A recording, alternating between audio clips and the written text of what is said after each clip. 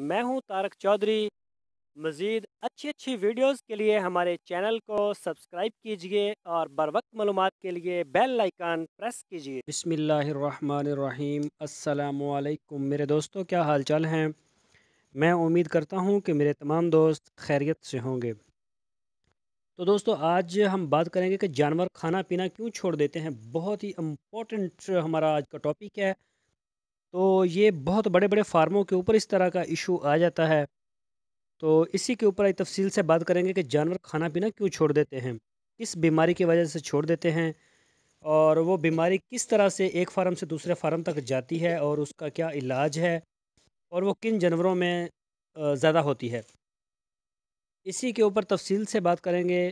اگر آپ نے ابھی تک ہمارے چینل کو سبسکرائب نہیں کیا تو پہلے ہمارے چینل کو سبسکرائب کر لیں۔ منہ کھر کی بیماری کی وجہ سے جانور کھانا پینا چھوڑ دیتے ہیں۔ گائے، بھینس، بکریوں اور بھیڑوں کی یہ اہم بیماری ہے۔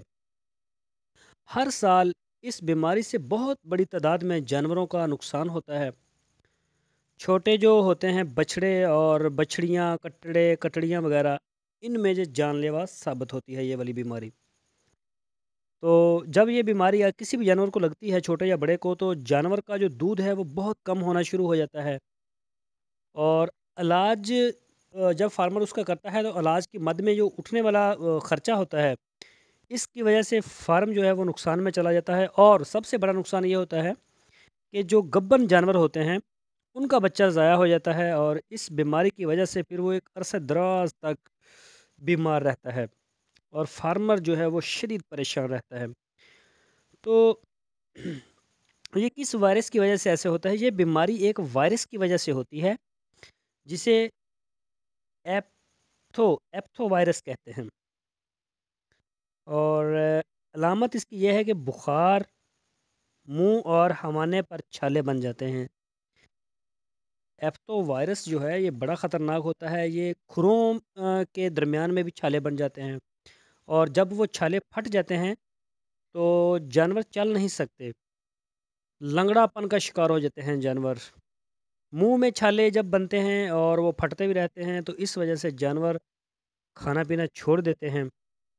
تو یہ وائرس کیسے پھیلتا ہے؟ یہ وائرس ہوا کے ذریعے کئی کلومیٹر تک پھیل جاتا ہے۔ بیمار جانور جب جو فارم میں اکثر دیکھا گیا ہے کہ پانی پینے کے لیے ایک ہی کھرلی ہوتی ہے، ہر فارم میں ایسا ہی ہوتا ہے۔ تو جب بیمار جانور اس کھرلی سے پانی پیے گا، تو تھوک کے ذریعے دوسرے پانی میں وائرس چلا جاتا ہے۔ جس وجہ سے یہ وائرس دوسرے جانوروں میں منتقل ہو جاتا ہے اور وہ بھی بیمار ہو جاتے ہیں۔ اگر یہ اکثر عمومی دیکھا گیا ہے کہ اگر کسی فارم کے اوپر اس کا اٹیک ہوتا ہے، تو اسی پرسنٹ جو جانور ہوتے ہیں، وہ اس بیماری سے متاثر ہو جاتے ہیں فارم کے۔ اور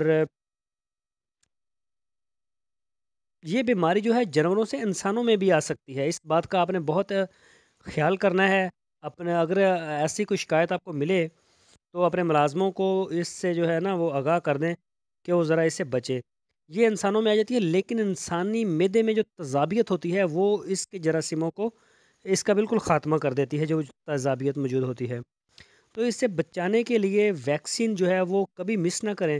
سال میں جو گورنمنٹ ہے وہ ریکمینڈ کرتی ہے دو مرتبہ کہ آپ سال میں دو مرتبہ اس کی ویکسین کروائیں۔ اس کا جو ٹائم ہوتا ہے وہ ہوتا ہے ستمبر جو کہ گزر چکا ہے۔ ابھی ایک دو مہینے کے بعد فروری آئے گا۔ فروری کے مہینے میں بھی اس کی ہوتی ہے، لیکن جو ہم ریکمینڈ کرتے ہیں یا سجیسٹ کرتے ہیں اپنے دوستوں کے ساتھ کہ جانور کو سال میں آپ تقریباً تین دفعہ کروائیں یا چار دفعہ کروا لیں ویکسین۔ اور یہ آپ یقین کر لیں کہ آپ کو یقین ہو جائے کہ جو آپ ویکسین کروا رہے ہیں اس بیماری کی منہ کھور کی، تو وہ جو ہے ایکسپائر نہ ہو۔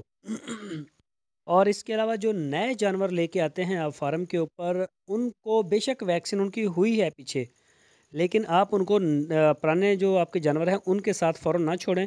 اس کو علیحدہ رکھیں، کم از کم دس دن تک اس کو علیحدہ رکھیں اور اس کی اپنی نگرانی میں ویکسین کروائیں، جو بھی ضروری ویکسین ہو اور اس کے بعد اس کو دوسرے جانوروں میں چھوڑا جائے۔ چاہے وہ بکری ہو یا یہ دوسری ہو، گائے گائے، بھینس ہو۔ تو اس کے علاوہ اکثر یہ بھی دیکھا گیا ہے، خاص کر خاص کر جو ہمارے ولیجز ایریا ہیں یا پھر گوٹھے وغیرہ ہیں وہاں پہ یہ ہوتا ہے کہ جو مچھلی کے ہوتے ہیں نا، وہ آندرے اس کے جو کانٹے اور چھلکا، یہ وہ اوپر سے اتارتے ہیں وہ۔ اس کا جو کچرا ہوتا ہے گوشت کے علاوہ، اس کو جو ہے نا، وہ جس جگہ پہ جانوروں کو باندھا جاتا ہے، وہاں جا کے اس کو نیچے دبا دیتے ہیں کہ اب اس کو منہ خور کی بیماری نہیں آئے گی۔ تو ایسا بالکل نہیں ہوتا۔ یہ آپ ان چیزوں کے اوپر ایک پرسنٹ بھی یقین رکھیں، جب آپ انہیں اس کو نیچے دبا دیا، وہ تو تقریباً کوئی بہتر گھنٹے کے اندر سارا بالکل گل جائے گا نیچے۔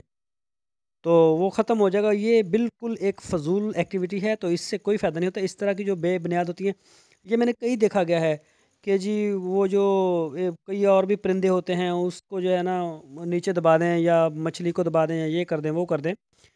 تو اس طرح سے جب آپ اس طرح کے کاموں میں پڑ جائیں گے، تو آپ کے جو جانور ہیں، جب وہ بیمار ہو جائیں گے، سارے بیمار ہو جائیں گے۔ اور پھر ان کو جو ہے نا تندرست کرنے کے لیے آپ کو بہت پیسہ لگانا پڑے گا اور بڑی پریشانی سے آپ کو بیچار ہونا پڑے گا۔ ایک بڑے دردناک اذیت ہوتی ہے فارمر کے لیے جب اس کا کوئی جانور بیمار ہو جاتا ہے۔ تو ویکسین جو ہے وہ ضروری ہے، چاہے آپ چرائی کے لیے لے کے جاتے ہیں یا آپ کے فارم کے اوپر ہے جانور۔ تو اس چیز کے اوپر آپ کسی قسم کا کمپرومائز نہیں کریں گے اور این ٹائم آپ جو ہے، جو آپ کا شیڈیول ہے، اس کے مطابق آپ اس کی ویکسین کریں۔ بلکہ بہتر ہوتا ہے، ہر سال جب سال شروع ہوتا ہے، ویکسین جو ہے نا اس کا شیڈیول کاغذ کے اوپر لکھ کے آپ اپنے فارم کے ساتھ اس کو کسی دیوار کے ساتھ چپکا دیں۔ جو ویکسین آپ کر دیں، اس کو آپ ہائی لائٹ کر دیں کہ جی ہماری ہو گئی ہے، پھر جو ہو جائے اس کو اس طرح نا ترتیب کے ساتھ ہر ماہ اس کو آپ کرتے جائیں۔ تو اس طرح سے جو ہے انشاءاللہ آپ فارم جو ہے وہ پریشانی سے نہ بچیں گے، بلکہ جو علاج کی مد میں اٹھنے والے اخراجات ہیں، ان سے بھی آپ بچ جائیں گے۔ تو دوستوں میں امید کرتا ہوں آپ کو ہماری آج کی ویڈیو ضرور پسند آئی ہوگی۔ تو آپ سے ریکویسٹ ہے، اگر آپ نے ابھی تک ہمارے چینل کو سبسکرائب نہیں کیا، تو ہمارے چینل کو سبسکرائب کر لیں۔ ہماری ویڈیو کو لائک کریں، اپنے دوستوں کے ساتھ فیس بک اور واٹس ایپ میں شیئر کریں۔ اپنا بہت سا خیال رکھنا۔ پھر ملیں گے آپ کو ایک نئی ویڈیو کے ساتھ۔ اللہ حافظ۔